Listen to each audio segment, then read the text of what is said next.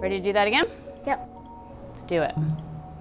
Virtual reality video games of all sorts are being used in physical therapy for kids and for adults. And so what we want to understand is, is there some advantage of practice in a virtual environment? And if so, what are those advantages? What is it about the virtual reality setting that might actually enhance learning as compared to when you practice skills in a physical environment?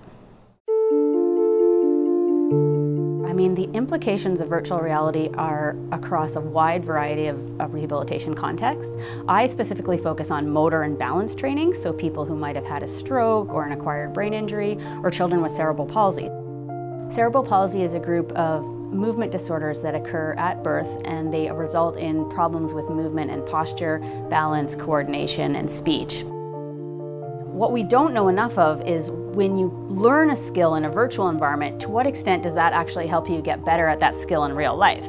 That's what we do in rehab, right? Anything that we do, we want that person not just to be better while they're with us, while our hands are on them, but we want them to be able to take those improvements and transfer that back into their real life setting.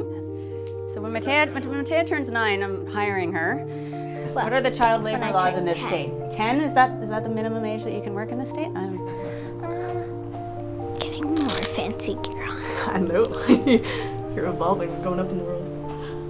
Although all of our studies ultimately aim to improve rehabilitation for kids with cerebral palsy and other movement disorders, we really need to make sure that, first of all, that we test all of our experimental paradigms and our tasks with typically developing children first to make sure that they're working and that they're measuring what we want to measure. And it's also really important to have kind of baseline performance for typically developing kids so we can see to what extent the performance and the learning of kids with cerebral palsy differs from their typically developing peers.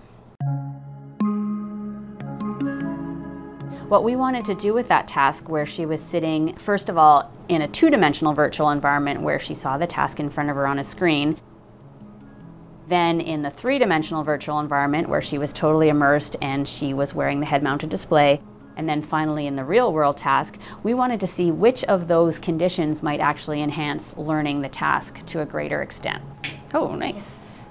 And there are certainly clinicians who really feel that real life interaction absolutely has more benefits than practice in a virtual environment, and I totally agree. What I think is that these games can provide a very useful adjunct that can potentially offer some extra benefits, and if you integrate them into your interventions in combination with the things that you're doing with practice in the real world, with getting out there and having people do skills in different environments, I think that's where you can offer a really beneficial advantage advantage. And go, go, go, go. Nice. Okay, into oh no, caught you.